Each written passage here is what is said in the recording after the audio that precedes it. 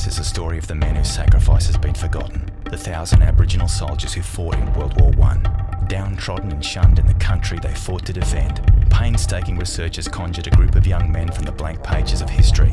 And after the curtain falls, we will remember them. Queensland Theatre Company and Brisbane Festival, in association with QPAC and the Balnaves Foundation, present Black Diggers at the Playhouse QPAC from September 24. Book now at queenslandtheatre.com.au.